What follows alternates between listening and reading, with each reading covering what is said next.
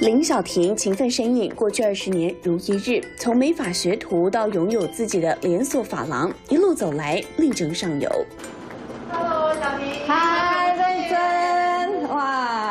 哇，越漂亮哦。在这边，在这边。好，谢谢。林小婷把客人当朋友，态度亲切，动作利落。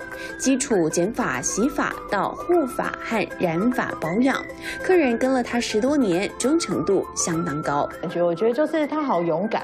然后很敢于面对挫挫折，就是遇到一些挑战啊，或遇到一些问题，他就会去面对它。对我觉得这个是很不容易的。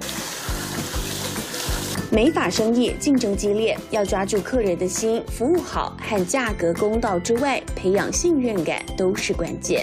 你上班的时候，你只要把客人顾好就好了。可是你开店的时候，你开始你不能只顾客人，你还要照顾员工。经营一间发廊跟两间、三间连锁店完全不同。林小婷没办法分身乏术，才开始学习经营管理。他笑说自己刚开始不懂，遇到经商的客人就从旁打听询问，一步步打下基础。哎，从家庭式的开始，就是从学习法，然后。